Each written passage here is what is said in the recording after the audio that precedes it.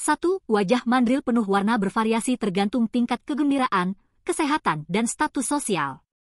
2. Alat kelamin jantan mandril disebut dagger, memiliki bentuk dan warna yang mencolok.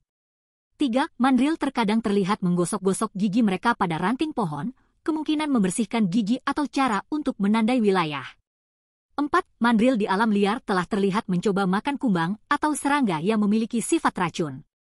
5. Mandril dijadikan simbol atau dikaitkan dengan cerita rakyat yang memiliki elemen magis atau mistik.